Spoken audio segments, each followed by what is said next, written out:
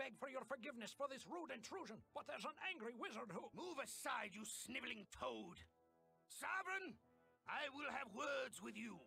Under your lawless rule, one of your foolish subjects has stolen my book of spells. The value of that great tome is beyond measure. You and your realm must now pay a price for its loss. Until such a time as sufficient good deeds have been performed, I curse all the dwellers of this land to be as stupid as the dead.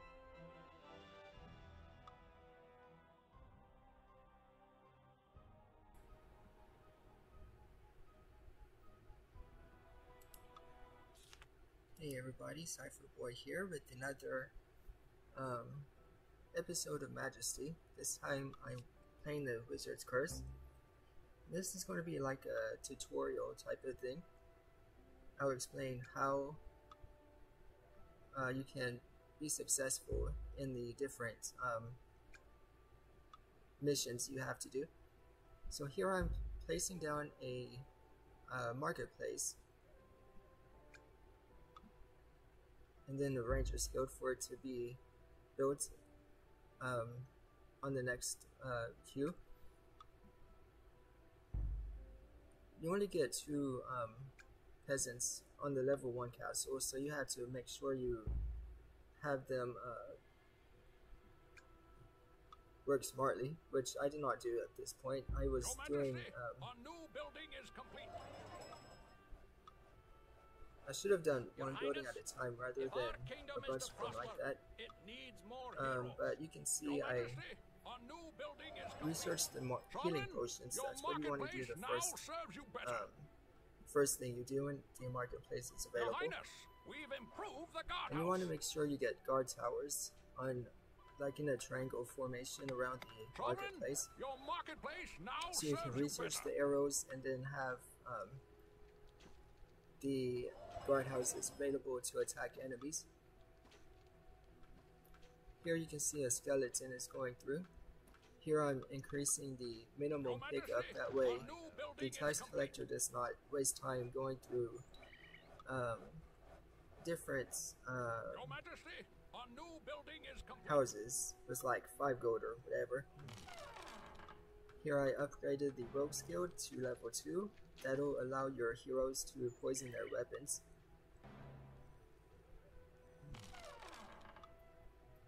And the ranger skill, the Rangers are the fastest, one of the fast units before you can get the temples in level 3 castle.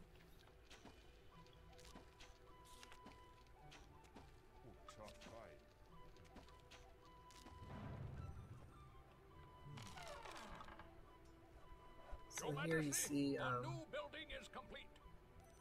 researching arrows for the guardhouses. I feel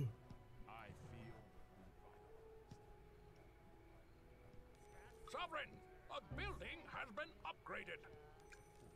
Replacing one right here. And then I'm leveling up Your the Highness, castle to level improved 2. the guardhouse. When you do that, you get an extra tax collector along with two more peasants to help build um, build the um, kingdom up. Sovereign, a building has been upgraded. So if you were at level 1 and had the gnome hovel available, you could place those down and um, recruit three gnomes. Once you do that, it will have two random serves you better. gnome hovels pop up just everywhere, anywhere. So you can have nine extra helpers with the building. They're not considered heroes though, but they can um, attack enemies.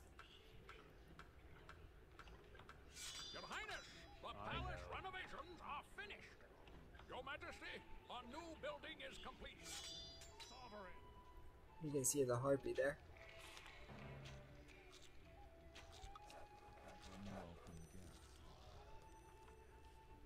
As you can see there, the sewer popped up. Those pop up randomly along with your uh, cemeteries whenever the uh, heroes, too many of them die.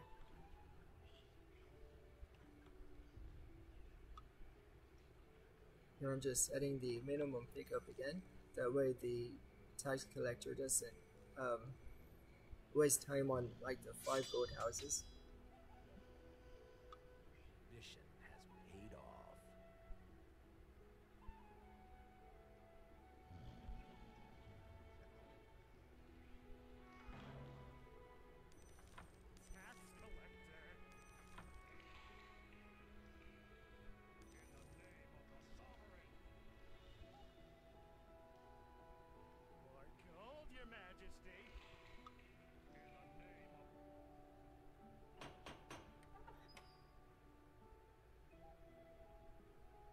And here the person is confused, so he'll probably end up going back home again. I join the wild spirits.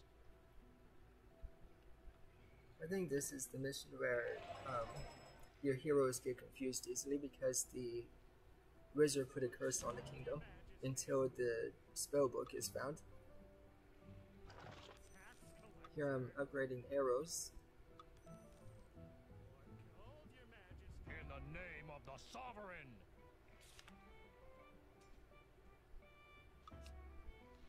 Your Highness, we've improved the guardhouse. There's no temples um, in this one. However, if there were, um, I would com- recommend um, building up the Your Temple de Krypta, who royal treasury is you can hire priestesses from, your. And they'll give you extra fighters by creating a skeleton out of thin air.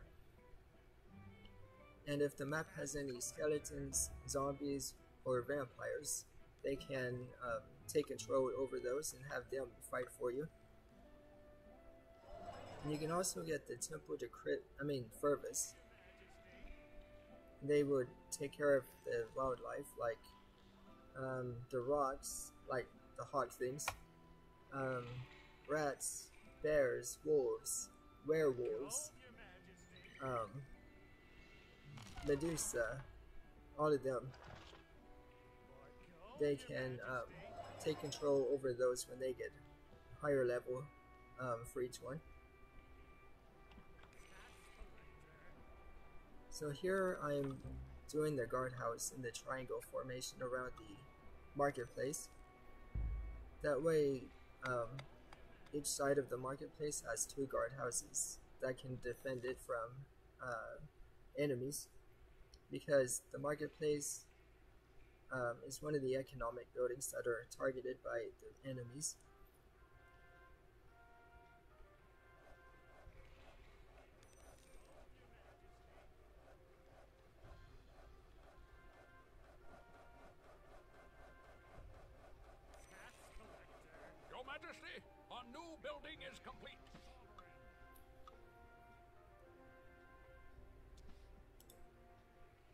I join the wild spirits.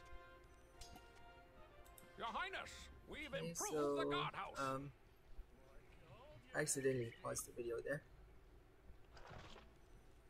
Um, so what else is there? Yeah, the creature dens and any um, enemy stronghold. You want to uh, take those out as soon as possible, especially if they're beside um, your kingdom. Sewers and cemeteries cannot be destroyed though, so keep that in mind. You just have to be able to defend against those entrances. But everything else on the map, um, you want to get rid of those to lower the enemies that you have to deal with. It'll make things a lot easier for you if you do that.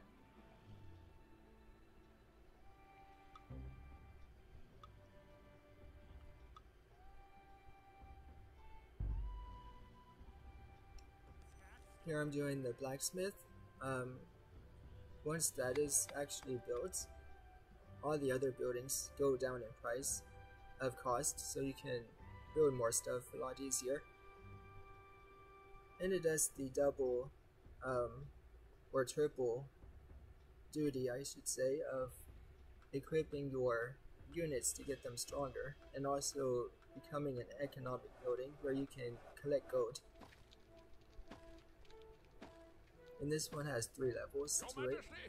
New building is complete.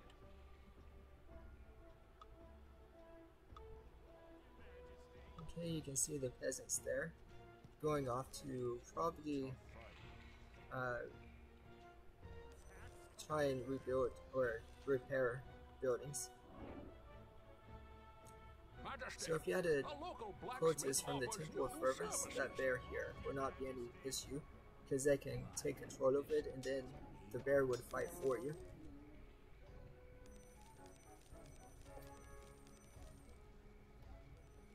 That's why I always go with the Temple de Majesty, Krypta and Fervus because they work so well together and adding more units to um, fight for you. The other two temples available are the there's I think it's Temple to Agrela, which provide um, healing units. And then the second one I forgot what oh I forgot the name of it, but those units are like super powerful because they're like monks. So they have like extra um, damage when they hit uh, other units. But I prefer the um, route of having a whole ton of units work fighting for you.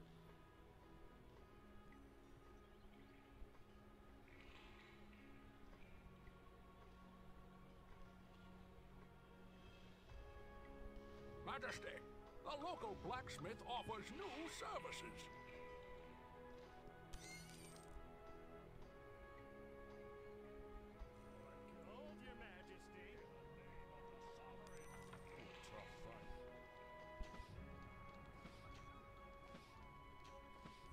Okay, so you see the rat guy there. Majesty, local That's one of the units that the quotas cannot re- uh, recruit.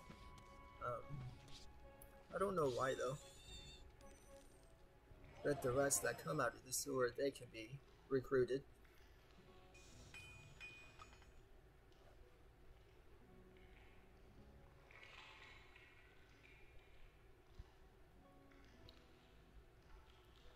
I guess another thing you can do is create a uh, triangle formation around the sewer entrance as well. That way, there's three different guardhouses that could attack it at one time. Highness, As soon as the the are offering enemy pops up. domain. I haven't done that before though, so I may try that and see how that works out. Same for the cemeteries. So here we get the dwarven settlement, which when that's built up, you can recruit three dwarves. And whenever any enemies come near their settlement, like a huge bolt, Majesty, um, fires at them. so they're more powerful than the individual arrows are from the guardhouses. That would be another thing, probably to um, good to put near the uh, marketplace. The only thing is you have to be level, have the blacksmith um, leveled up along with the castle to level new 2. Services. Your Majesty, a new And you cannot have any gnomes or any elves in your settlement because those three races do not get along with each other. So here I'm doing the explore flags, trying to get the heroes to go out and explore more.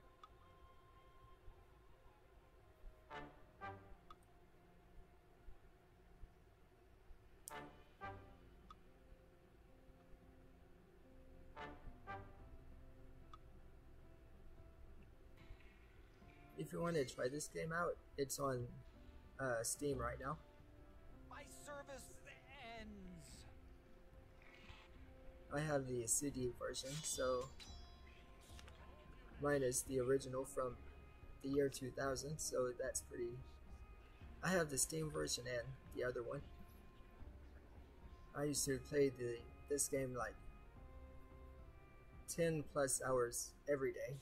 That's how much I enjoy it. The, the replay replayability is really awesome because every time you play a, a different um, scenario, the map looks completely different.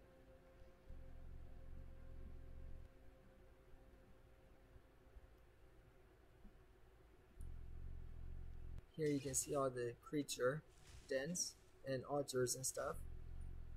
That's when you want to go after them and attack them and here's the point where my game froze. So that's why I did this video as like a how-to type of thing and give you tips and tricks and stuff as I um, watch through the video. So hope you enjoyed. Leave a like, comment, and subscribe if you want to, and I'll see you later. Bye.